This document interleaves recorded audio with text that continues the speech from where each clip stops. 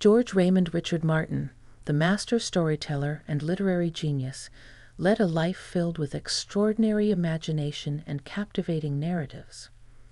Born on September 20, 1948, in Bayonne, New Jersey, Martin would become a revered figure in the realm of fantasy literature, enchanting readers with his intricate world building and complex characters. Martin's journey as a writer began in the 1970s when he embarked on a prolific career, crafting stories that would transport readers to realms of magic, intrigue, and epic battles. His unique blend of fantasy, political intrigue, and gritty realism set him apart from his contemporaries, establishing him as a pioneer in the genre. In 1996, Martin released the first installment of his magnum opus, the a Song of Ice and Fire series, titled A Game of Thrones. This sprawling epic, set in the fictional world of Westeros, gripped readers with its complex plot lines, morally ambiguous characters, and unexpected twists. The series became a global sensation, captivating millions of fans around the world. Martin's vivid and richly detailed storytelling earned him comparisons to literary giants like Tolkien and Robert Jordan. His ability to delve into the depths of human nature and explore themes of power, honor, and redemption resonated deeply with readers, making his work a touchstone of modern fantasy literature.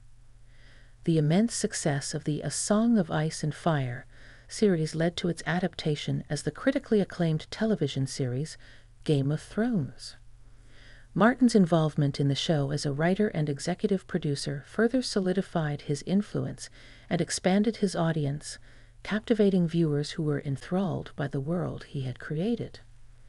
Known for his meticulous writing style, Martin became infamous for the intricate and complex nature of his narratives. His fans eagerly awaited each new installment in the series, with the anticipation and speculation reaching a fever pitch as they sought answers to the mysteries and fates of their favorite characters. Despite the extensive acclaim and fanfare, Martin remained a humble and down to earth figure, known for his wit, accessibility, and genuine appreciation for his readers. He took the time to engage with fans, attending conventions and participating in interviews, further endearing himself to the passionate community that his work had inspired. Throughout his career, Martin received numerous awards and accolades, including Hugo Awards, Bram Stoker Awards, and a Primetime Emmy Award. His influence on the fantasy genre and his contribution to modern storytelling have been widely recognized, solidifying his place as one of the greatest literary figures of our time. George Raymond Richard Martin, the master of fantasy, will forever be celebrated for his captivating narratives, rich world building, and unforgettable characters. Like the video and subscribe to the channel. Thank you.